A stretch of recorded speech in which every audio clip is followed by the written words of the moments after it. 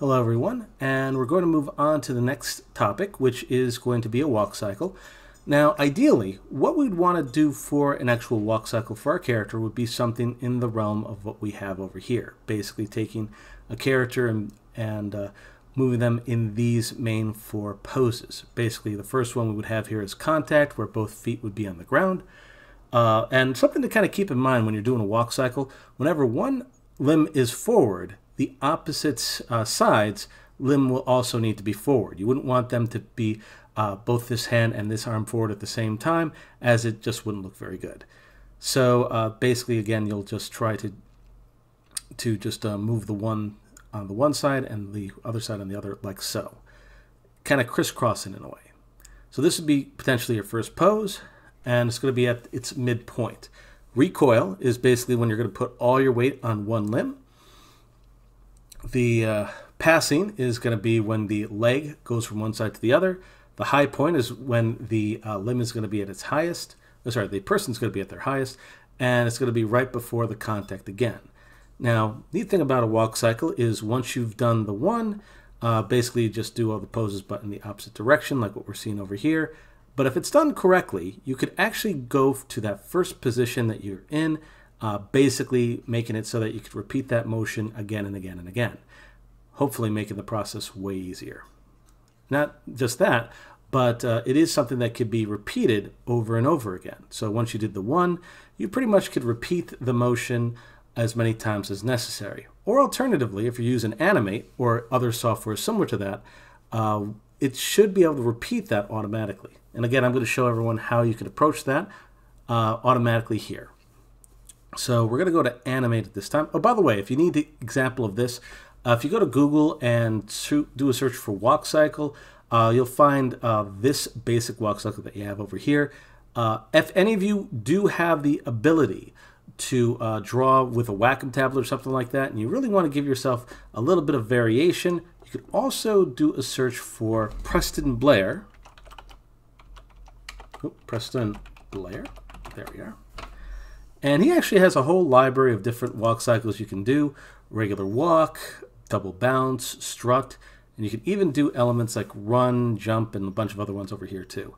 I wouldn't recommend doing these for the rig that we have. This is more if a person's just going to be doing a very simple uh, walk cycle and so on.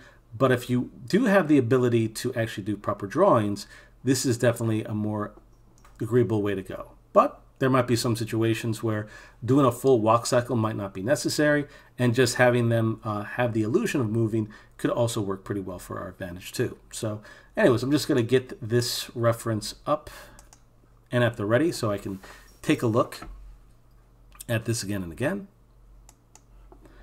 And uh, once again, I am going to copy my main just by uh, right-clicking and duplicate. Again, you don't want to, I'll just type this as walk, to use the original if you can help it.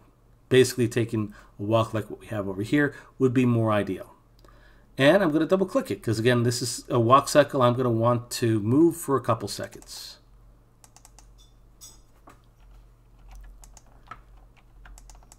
Okay. Now, uh, for our walk cycle, just to give you an idea of how we're going to approach this, we're only going to be basically seeing uh, the legs upwards. We're not going to have to see the whole body for this walk cycle we're doing. We're basically just doing like a medium uh, shot, possibly a medium close-up uh, for this. So don't worry about actually animating everything. We just need some of the basic areas. Now I would like to try and maybe add a little bit of head movement to that, so I'm going to get all the facial elements as well, but we'll get to that. Okay, so uh, again, what I would do is first of all, uh, you're going to need everything here. So uh, I'm going to put this, let's see, I'm just doing some quick calculations on here because ideally we want to make sure that we have enough frames for all our poses. So basically if we're doing the first pose uh, and we were going for a full, let's just say uh, one second, we want to make sure that uh, our first pose could be like uh, the contact and then the recoil. So we're going to need one, two, three, four, five, six, seven, eight uh, areas for our poses and such. So potentially with the, with the nine if we have this over here. So let's see here. So the first four frames would be one. The next four frames would be uh, the second area. The next four frames after that would be 12. So that basically one, so that so that would basically be about uh, 12 frames right there. And then we could basically use the other 12 frames uh, for the first second with an additional four frames uh, after the first second over here uh, so that we can basically get that whole looping option. So we're going to need frames going all the way to frame 28 if I'm not mistaken. So I'm going to hit F5 for all those sections. It is going to get a little weird, but it will be fixed immediately.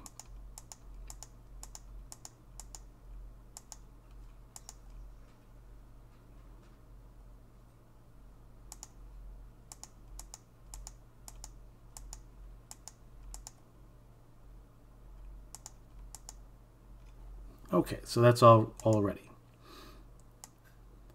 Okay, so if I'm doing a contact, oh, actually have to add the keyframes for where we need them to be. Again, I'm not going to need to get the lower legs over here, so I'm not as concerned about that. Uh, I am going to try and get a good chunk of the other body parts, though. So I'm just going to use the quick selection over here and select all the parts that I'm going to need.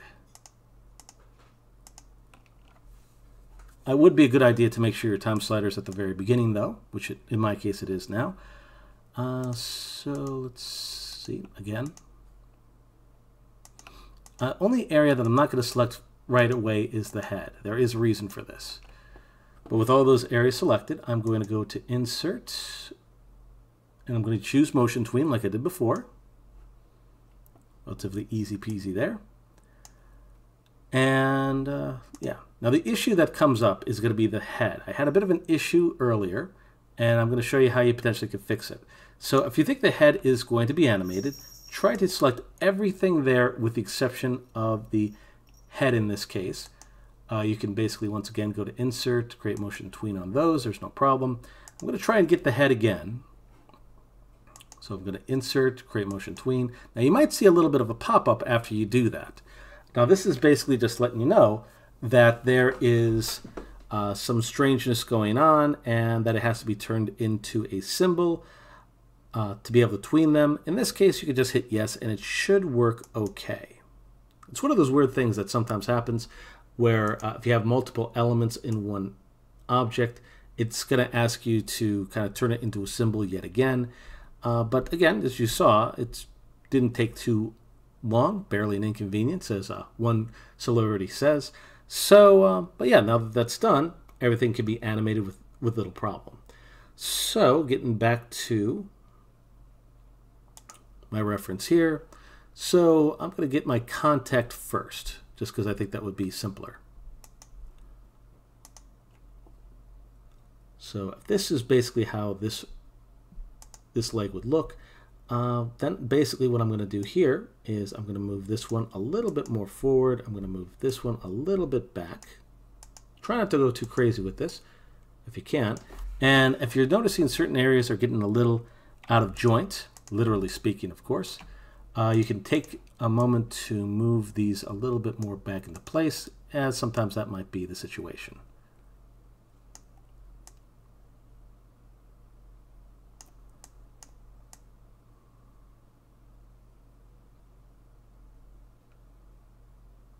There we are.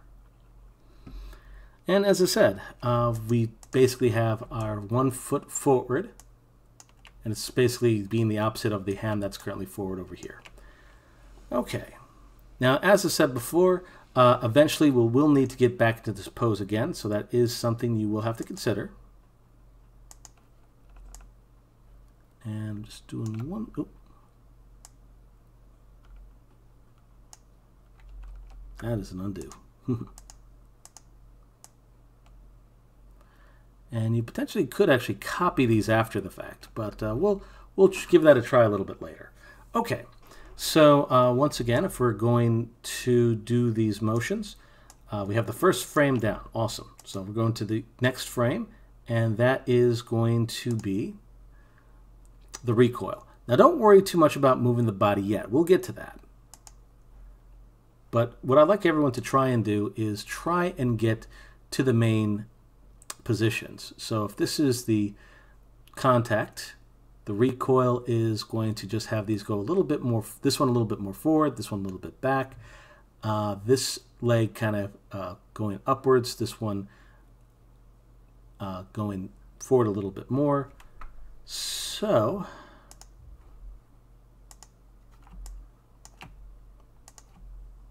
once again on this frame, I'm going to move everything that needs to be moved. So again, if necessary, you can basically just hold shift to make uh, the keyframe, then shift it back. that should hopefully uh, make the motion that we need. Uh, again, that area is going to be a section we're going to need to do. I'm not going to worry too much about uh, the upper body over here, so I'm not going to worry about that. This one's going to go a little bit more forward. Again, we're not moving the shins because we don't have to worry about that as much. There we are, those two. This one we're going to move slightly up.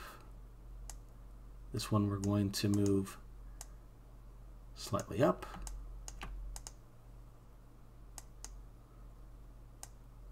And this one I'm actually going to move up a little bit like so. And same thing for these areas. Move that up. Move this in. And again, this is the hand that's going back. That's why I'm moving it this way. Yeah, there we are. And once again, I'm just taking a look at this. So I'm going to move this back slightly. Cool, so I think I got most of the areas. So I'm going to just make sure there's no shenanigans going on with the animation. Now that looks pretty good. So I'm going to go forward eight frames. Yep, there we are. And go to the next pose. So the next one is more of a passing. So each of these would be more of in a neutral stance. That's what I'm going to be shooting for.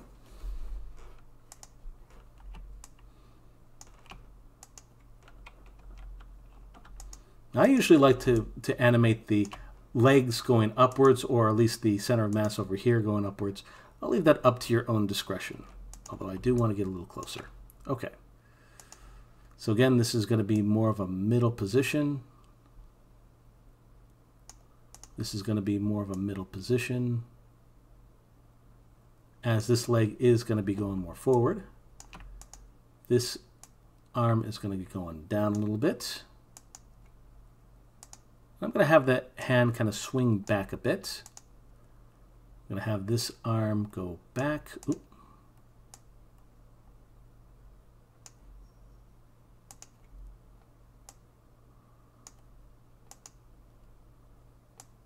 Have this arm go back like this. And I'm going to put my head back in more of a neutral position. There we go.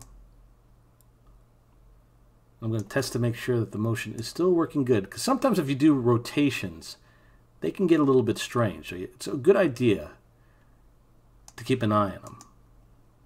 And make sure that you animate every part you have here.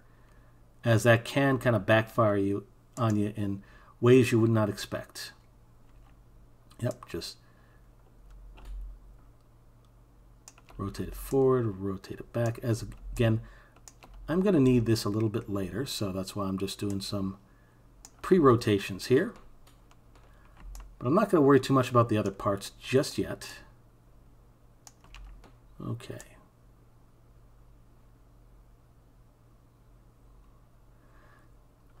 Okay, so I got the one, two, three, and then the next one would be the high point. So this is where uh, this leg would go a little bit more forward.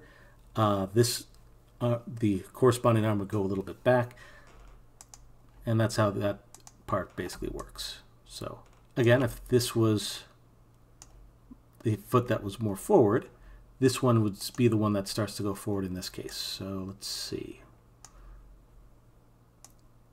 So I'm bringing that a little bit more forward, a little, do not scale these. You do not want to scale these. Back, This one's going to go a little bit more forward. This one's going to go a little bit.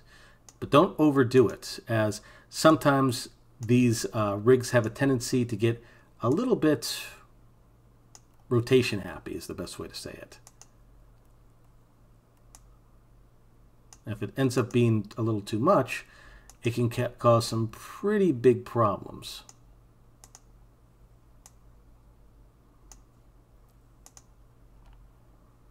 So it's always a good idea to test. So, whoop. And uh, that looks pretty good. And I'm going to go to my reverse contact. So that basically means this leg is going to go more forward. You may, might need to move it a little bit. Yep, there we go. This one's going to go back a little bit.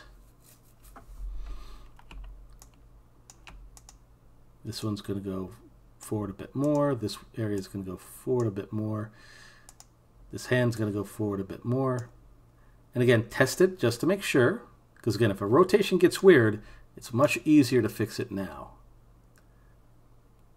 Little confession, I actually had to restart this uh, this uh, lecture a little bit because there was some weird shenanigans going on, but it looks like most of those parts got fixed. Emphasis, emphasis on most of these areas got fixed.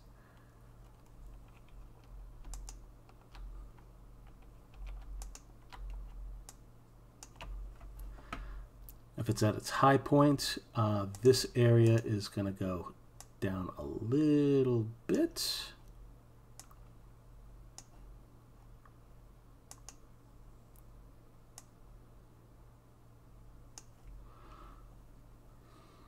And let's see, the lower aim far, I'm basically going to bring that a little bit further back. See if there's any other shenanigans that are going on. Nope, just basically bring this here, bring this over, just to make my keyframe.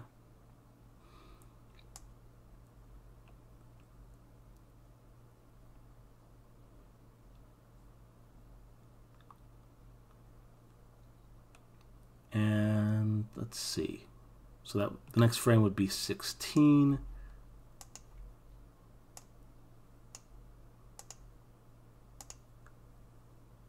Again, this is going to go the furthest back it can. This is going to go forward, and you know it doesn't need to go forward anymore. Uh, let's see. And again, test it out to make sure there's no weird rotations, as they can pop up in weird areas. Okay, looks like it's all going good. Uh, let's see.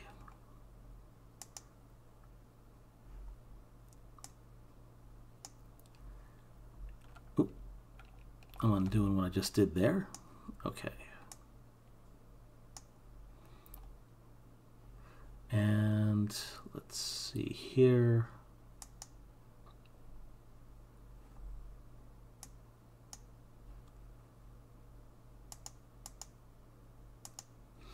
I'm just trying to make sure I get the other side. The hardest part about this is when you have arms that are farther away, it does make it a little bit more difficult to select. Ah, here we are. And arm far.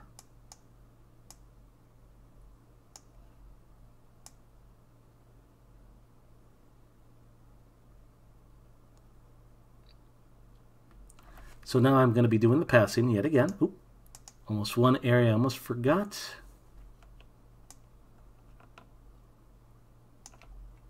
Reason why I'm just doing, uh, I'm going to be doing the moving up and down last because I just want to make sure I get my main poses. So if that's my contact, uh, I'll be going into my, let's see, just want to make sure I have all of them. I think, so yeah, contact, then recoil, then passing, then high point, then contact,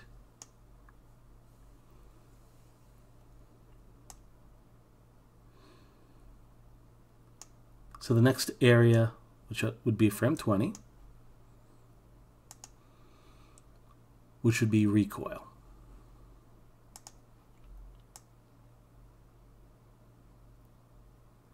And then I would bring that back.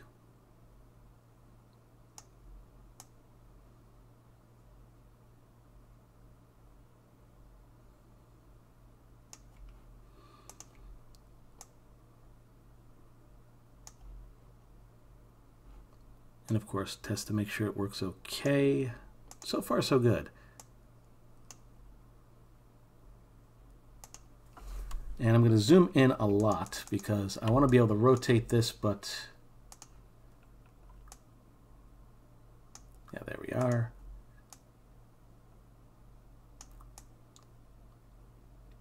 There we are.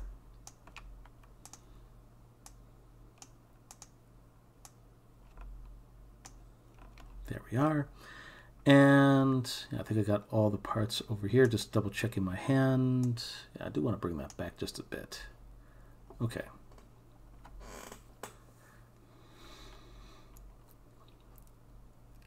And yeah, the other side, which is all the way down here.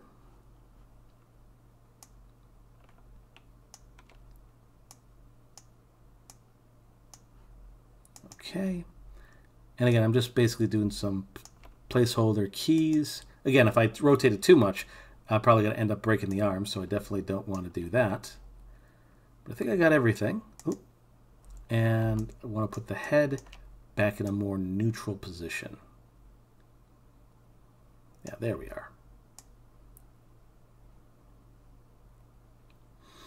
And now that that's done, where we have the contact, we're going to go into the passing, which is basically going to bring both our limbs a little bit more in a neutral position. So that'd be frame 24.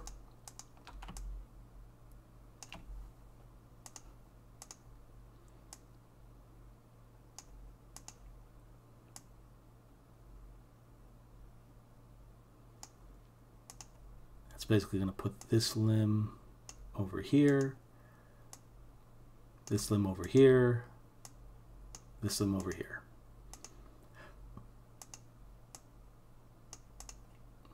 Cool. But test it out just to make sure that everything is going the way they're supposed to. Looks like they are.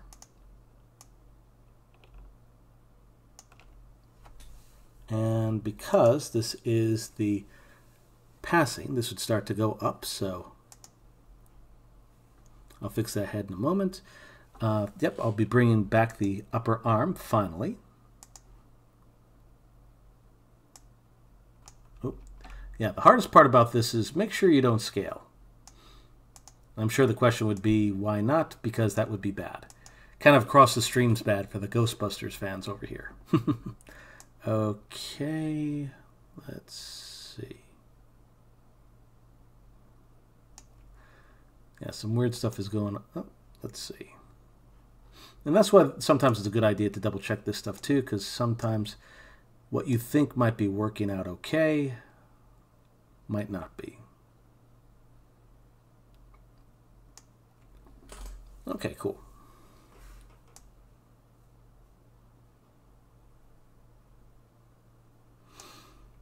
All right.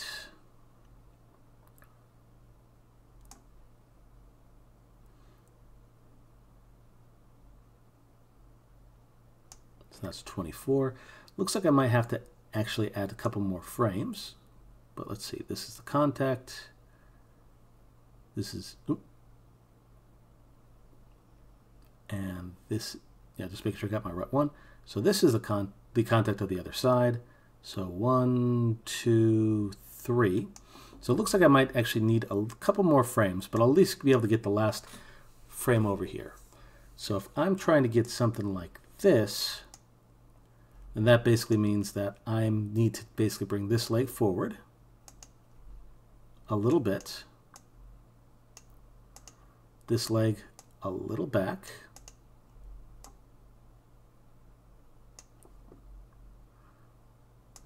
this arm a little forward. I think I might need to zoom in a little bit on this so I could see that easier.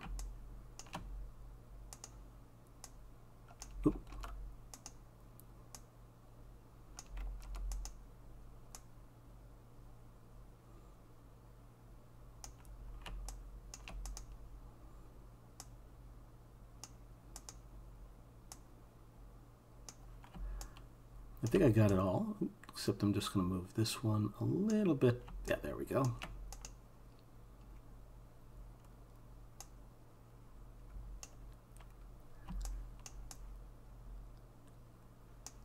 Since that one's going back, I'm just bringing this back slightly. Okay. I'll be going back for the head to basically try and fix that up. Okay, so upper leg close. Okay, main controller once again. Just got to bring it back and forth. Oops. Make sure you're on the right frame when you do it, by the way. There we are. Okay.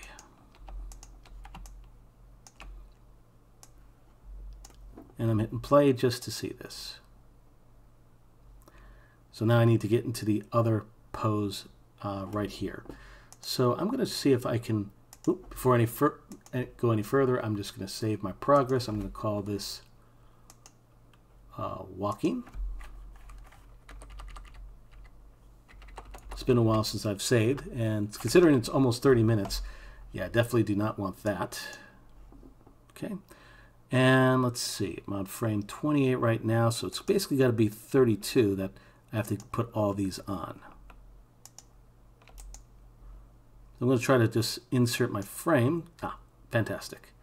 And I'm going to try, emphasis on the word try, to see if I could actually just bring this first frame over for each of these.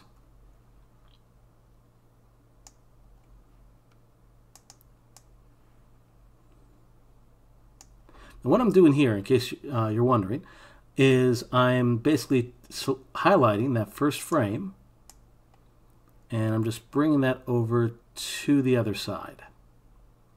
So once I just give it a quick click, I'm going to click and drag it to the other side. That should make an instant copy. Emphasis on the word should. And I definitely would recommend checking it just to make sure.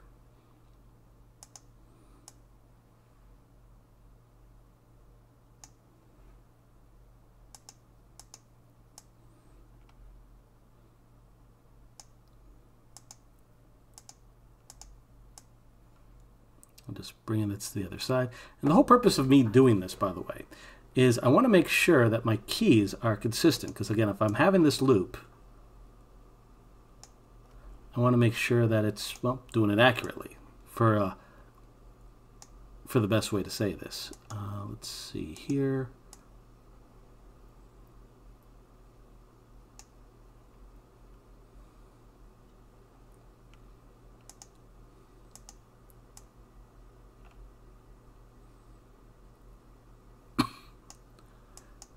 Okay. Again, if you accidentally uh, select more than you mean to, the undo button is your friend in most cases. Now, the best way you could test to make sure it works is you could try to use the repeat.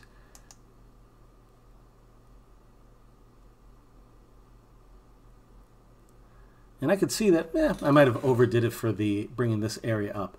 But for most of our purposes, it looks like most of the work that we're doing came out pretty good. A couple things that could be probably tightened up a little bit, but overall, I'm having a walk cycle that's pretty loopable. But again, that's why we're basically having, oh, that's why we basically copy that one frame so it can loop indefinitely. So I'm going to try and clean this up a little bit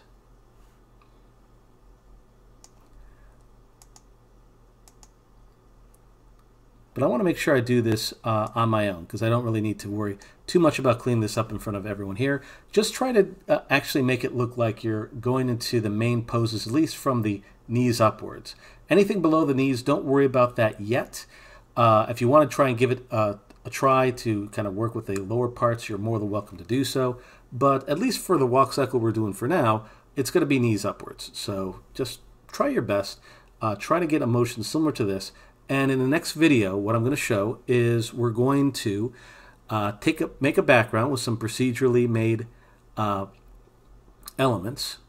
And that basically means we're going to make a small little library of different props and basically make a background symbol with just those props.